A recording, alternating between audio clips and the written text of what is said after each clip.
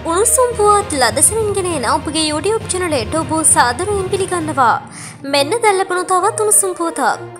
සර්වපාක්ෂික ආණ්ඩුවක් පිළිබඳ ජනාධිපතිවරයා විවිධ පර්ශ්ව සමග පසුගිය සතිය පැවැත් වූ සාකච්ඡාවලදී ඉදිරිපත් වූ සියලු යෝජනා අද දින සියලු පක්ෂ වෙත පොදුවේ ලබා දීමට නියමිතයි. සර්වපාක්ෂික ආණ්ඩුවක් පිහිටුවීම සම්බන්ධයෙන් පසුගිය කාලය පුරාම විවිධ පාර්ශ්ව වෙතින් යෝජනා ඉදිරිපත් වුණා.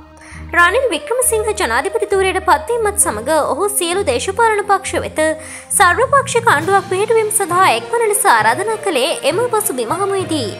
එය අනුව විපක්ෂ නායකවරයා ප්‍රමුඛ සමග ජනබලවේගය හිටපු ජනාධිපති මෛත්‍රීපාල සිරිසේන ප්‍රමුඛ ශ්‍රී ලංකා නිදහස් පක්ෂ ශ්‍රී ලංකා පොදුජන පෙරමුණ දෙමළ ජාතික සන්ධානය ඩල සලහ පෙරම මන්ත්‍රවරයා සහ ඔහුට සහය දක්වන කණ්ඩායම ස්වාධීන පක්ෂදායේ කණ්ඩායම මෙන්ම සිවිල් සංවිධාන කිහිපයක්ද ජනාධිපතිවරයා හමු වුණා.